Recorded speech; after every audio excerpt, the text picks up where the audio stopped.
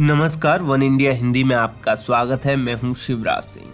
पूरी दुनिया को कोरोना वायरस वैक्सीन का इंतज़ार है। कई देशों में कोरोना वैक्सीन को मंजूरी दी जा चुकी है तो वहीं कई देशों में कोरोना वैक्सीन लोगों को भी दी जानी शुरू की जा चुकी है। वहीं भारत में भी लोगों के इस्तेमाल के लिए जल्द ही कोरोना वैक्सीन को मंजूरी दिए जाने की उम्मीद की जा रही है। कोरोना वैक्सीन को लेकर देश में तैयारियाँ काफ़ी तेज़ी से चल रही हैं। इस बीच केंद्रीय राज्य मंत्री अश्विनी चौबे ने कहा है कि कोरोना वैक्सीन लोगों को देने के लिए पोलिंग बूथ की तरह तैयारी की जा रही है। बिहार के पटना पहुँचे अश्विनी चौबे ने मीडिया से बात करते हुए कहा कि हर रोज एक बूथ पर केवल सौ लोगों को ही वैक्सीन दी जाएगी। राज्य सरकारों की जो मांग है, उसको पूरा करने के लिए केंद्र सरकार प्रयत्नशील है। स्वास्थ्य मंत्रालय के साथ बातचीत हुई और वो लोग काफ़ी गंभीर हैं। यहाँ पूरी तैयारी हो गया। आज कुछ समाचार पत्रों में छपे भी हैं। तो वैक्सीन को सबसे पहले कोविड वेरियस जो है, उनको बांटने का केंद्र सरकार ने तय किया है।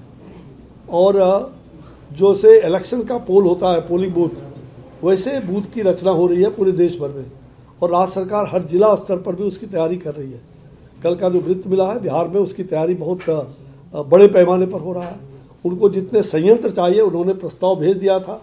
और हम लोग ने स्वीकृति करके केंद्र सरकार उसको जल्द ही अगले पंद्रह दिनों से ये पंद्रह दिन, एक महीने के अंदर हम सारी मशीनें उनको भेज रहे हैं। चाहे वो फ्रीज करने का हो या अन्य प्रकार का स्टोरेज के लिए जितने भी संयंत्र चाहिए अप टू डेट मतलब उसकी सारी तैयारी केंद्र सरकार ने कर लिया है। हम राज्यों को उसको भेजना शुरू कर रहे हैं। तो बिहार में भी प्रायोरिटी से उसको भेजने जा, भेजने की तैयारी हो रही है। और आपको मालूम होना चाहिए कि बूथों पर 100 प्रतिदिन 100 लोगों को हम डोज दे पाएँगे, पहला। और उसमें पहला हमारा होगा कोविड वेरियर्स, चिकित्सक चिकित्सा कर्मी स्वास्थ्य कर्मी और भी जो इससे जुड़े हुए लोग हैं और दूसरा जो फ्रंट लाइन वर्कर है, चाहे वो पुलिस के जवान हो, कप्तान हो, सेना के लोग हों, ऐसे लोगों के लिए है। और फिर साठ से ऊपर वाले का अगर कोई बीमारी है, पचास से ऊपर वाले का भी अगर उसका होगा तो उसकी श्रेणी बनाई गई है।